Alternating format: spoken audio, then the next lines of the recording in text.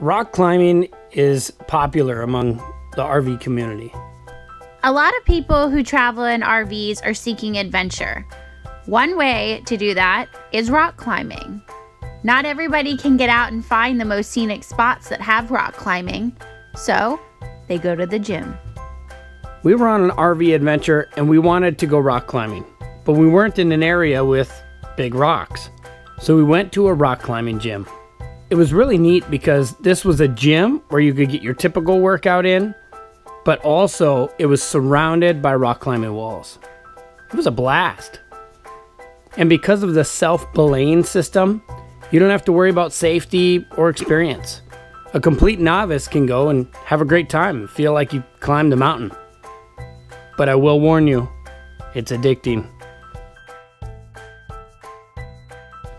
We hadn't rock climbed in a while, and I definitely had forgot how tough it is on your hands. You work muscles that you just don't use every day.